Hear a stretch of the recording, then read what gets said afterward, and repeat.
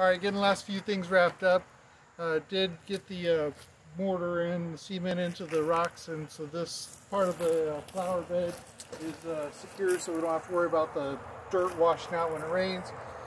I can come back and do some touch up and clean up. That's my very first time I've ever done cement but uh, it's it's in there, it's good so uh, um, yeah I'll do a little bit of cleanup on that and then that'll be all set.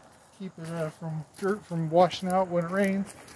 Then inside, I got all the drywall done. Just finished up painting. And drywall took me a lot more times of going back and uh, I'm kind of perfectionist, which is weird for as unplumb as everything is in here, how I want to be perfected on the uh, smoothness of the drywall. Anyway, so after so many applications of uh, spackling and then uh, sanding. I got it all smoothed out and I got, got all the visible um, imperfections out. Got two coats of uh, uh, eggshell white and then the wife wanted uh, this to be a textured wall so we just put this uh, textured paper up, got three strips of it and I got it matching on the uh, where the seams are and then she wanted it painted.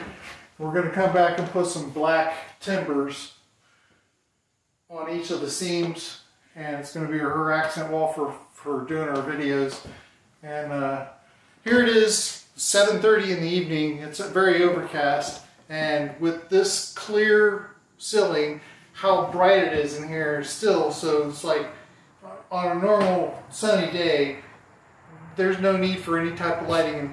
In fact, earlier today it was really sun shining out and I was coming in here just doing some um, final pieces on the on the wall and it was so bright it was blinding me just off of the reflection of the wall. So this clear ceiling is uh, really excellent for uh, lighting in here. So uh, don't think we'll need even pre in any LED unless she wants to do some evening work.